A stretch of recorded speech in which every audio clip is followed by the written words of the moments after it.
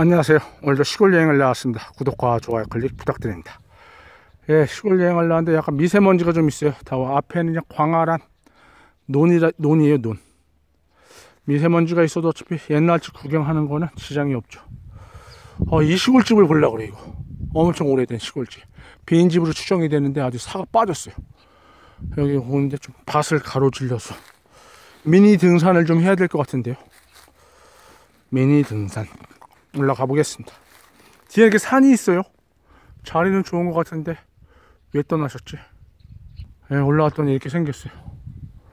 와, 뭐 주변에 돌담 쌓여있는 거 유적지 수준인데 신석기 시대, 구석기 시대 무슨 유적 발굴을 하러 온 것 같아 느낌이. 예, 여기서 보시죠. 저쪽으로 한번 가봐야겠어. 저 무슨 용도였지 저쪽에? 왜 이런 터가 남아있지? 신석기 시대 운막을 누가 투고 살았나?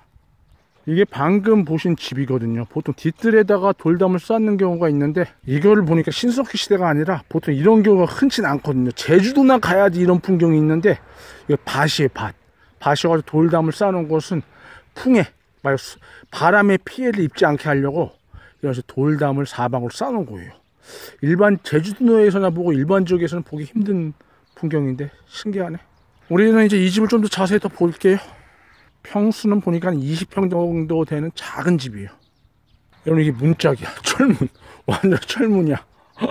방금 보신 집은 주변 풍경은 좋은데 좀 카바랭을 너무 잘 해내가지고 내부는 거의 못 봐요.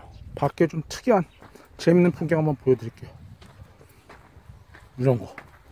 아, 야외 숫단지 보면 이런 거 보면 신기하고 재밌더라고. 숫단지가 엄청 커요. 밥을 100인분 해 먹을 것 같아. 여기다 밥 해 먹으면 진짜 맛있을 것 같아. 예, 오늘 이렇게 한번 특별한 시골집 한 채 구경해 보았습니다. 구독과 좋아요 클릭 부탁드립니다. 감사합니다.